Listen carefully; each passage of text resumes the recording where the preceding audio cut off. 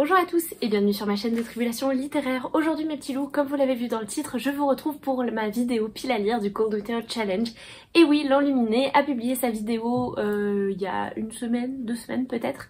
Euh, et du coup je me suis concocté ma petite pile à lire. J'adore vraiment ce challenge ainsi que celui du Pumpkin Autumn Challenge. Euh, c'est vraiment les deux seuls que je fais dans l'année parce que après je suis trop contente de pouvoir à nouveau piocher de manière libre entre grands guillemets dans ma pile à lire mais je sais pas, euh, j'aime bien quand même faire ces deux challenges de fin d'année qui me motivent vraiment à bouquiner.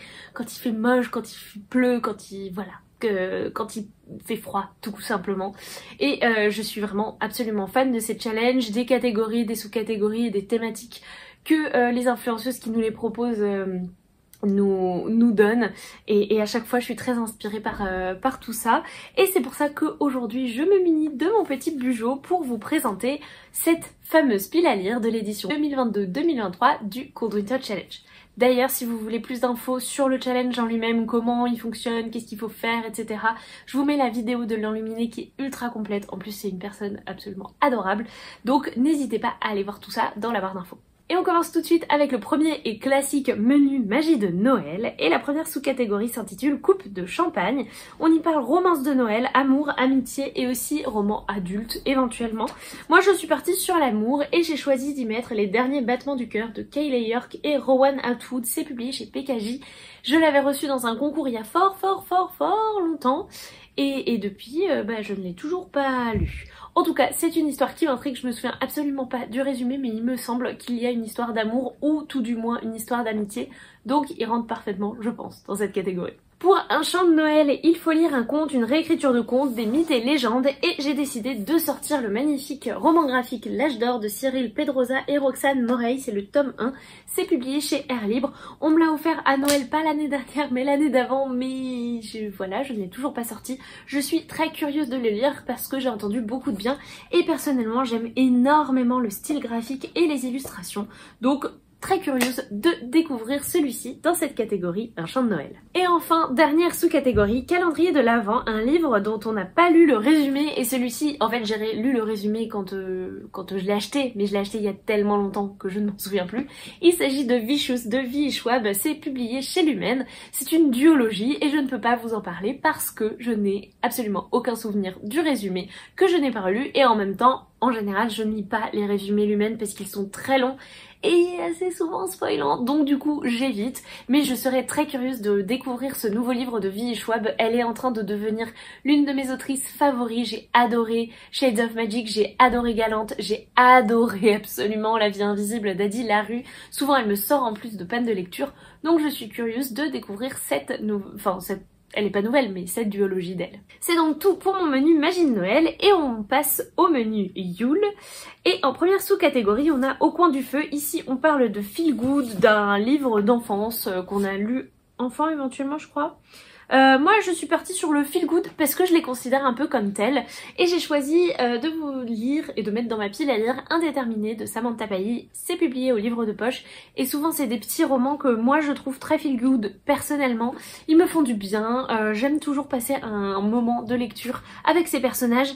Et même si je serais un petit peu triste de les quitter, j'ai hâte, hâte, hâte de découvrir ce qui va se passer dans ce dernier tome de la trilogie de Samantha Bailly. Ensuite, pour Danse de la Fée Dragée, j'ai choisi un roman que je me suis offert l'année dernière euh, au Salon du Livre de Montreuil. On est plutôt dans tout ce qui est univers fantasy, fantastique, rêve, univers onirique. Et je trouvais du coup que L'Arpenteuse de rêve d'Estelle Faye, publiée chez Rajo, fonctionnait parfaitement dans cette sous-catégorie.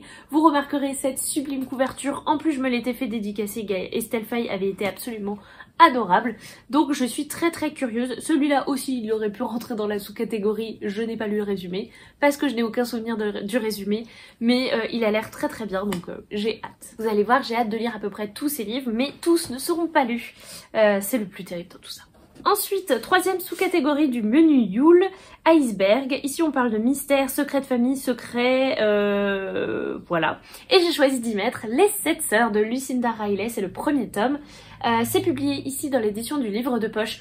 Tout le monde en a parlé, tout le monde a lu Les Sept Sœurs bien avant moi, je sais, je suis très en retard. Mais écoutez, euh, il n'est jamais trop tard. Donc je serais très curieuse de découvrir cette histoire qui a tant fait parler d'elle. Et en plus, bah, il y a sept tomes derrière à, les lire. Donc euh, bah je vais passer un moment avec ces sept sœurs je pense. Et enfin il y a la thématique Reine des Neiges, ici on parle de féminisme, de femmes de pouvoir, de sorcières et j'ai choisi d'y mettre pour que chante Les Montagnes de Nguyen Phan Mai, je pense que je le prononce très mal, mais c'est publié chez Ce roman de la rentrée littéraire 2022 me fait énormément envie depuis que je l'ai découvert sur Instagram. Vraiment, on va y parler de femmes au Vietnam en 1972, en tout cas au début, on va vraiment suivre toute la famille et euh, le destin de ces femmes, donc euh, je pense qu'on est vraiment bien dans la thématique de cette sous-catégorie. Je suis très curieuse de le découvrir et en plus, ce qui me motive encore au-delà, c'est que récemment Christiane Tran en a fait un superbe post Instagram, elle l'a extrêmement bien défendu, elle l'a extrêmement bien présenté, donc je suis d'autant plus curieuse de découvrir cette histoire. C'est donc tout pour le menu Yule dans lequel vous avez vu trois livres et on passe au menu Hiver sombre avec la première sous-catégorie Nakatomi Tower et comme ça a des consonances japonaises, je trouve que je suis parfaite euh, là-dedans. Euh, on est plutôt sur du thriller, du suspense, une enquête et j'ai décidé de me relire et de terminer la saga Le bateau de Thésée. C'est publié chez Vega et c'est écrit par Toshiya Higashimoto. Euh, je crois que je m'étais arrêtée au tome 5, un truc comme ça. J'avais acheté le tome 6 et le tome 7, mon copain les a lus mais pas moi. Et je crois que la série est enfin terminée et en librairie donc du coup l'idée c'est que je m'achète les tomes 8, 9, 10 qui manquent et que je découvre le fin mot de cette histoire. C'était une enquête à suspense que j'avais trouvé absolument incroyable dès le début. Très inspirée je trouve de Naoki Urasawa qui est l'un de mes mangaka préférés. Donc je suis très très curieuse de découvrir la suite et fin de cette série et de relire un petit peu le tout. Ensuite, deuxième sous-catégorie, fantômes des Noëls passés. Ici, on parle de fantômes, de voyages temporels, de jeux avec les époques.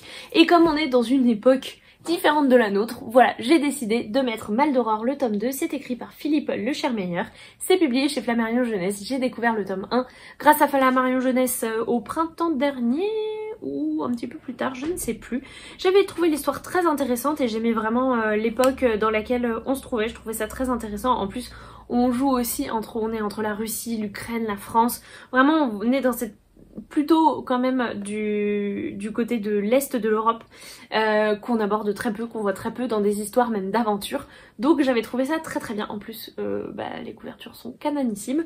Donc je suis curieuse de découvrir cette suite. Enfin, euh, troisième sous-catégorie, la nuit du solstice. Ici, on est sur de l'angoisse, de l'horreur, des créatures de la nuit et je trouve qu'il est parfait là-dedans. J'ai choisi de mettre Nevernight, le tome 2 de Jay Christophe. C'est publié chez Deux Axus et moi j'ai la magnifique édition reliée.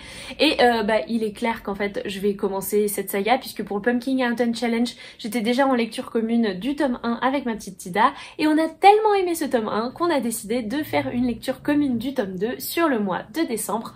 Donc c'est déjà prévu, il sera commencé dès le premier. C'est donc tout pour ce menu hiver sombre et on termine avec le troisième menu qui s'intitule Marcher dans la neige.